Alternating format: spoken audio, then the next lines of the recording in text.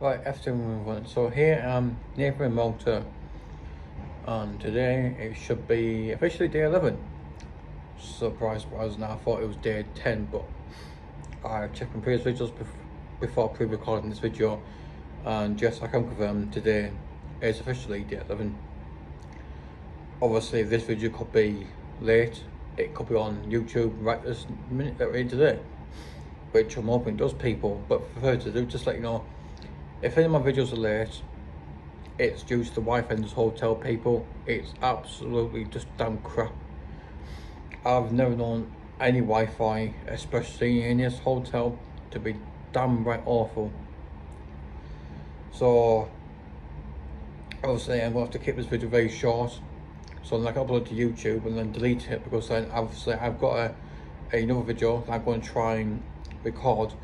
Obviously if it's going to be late, which chance that is going to be very late, at least that you are aware what the reason being for these videos being late. Because like I said, people, the Wi-Fi in this hotel is absolutely just, just crap. So yeah, and also people remember, like, comment, subscribe, because it doesn't cost a single penny. Remember, it's all for free. And don't forget, it helps me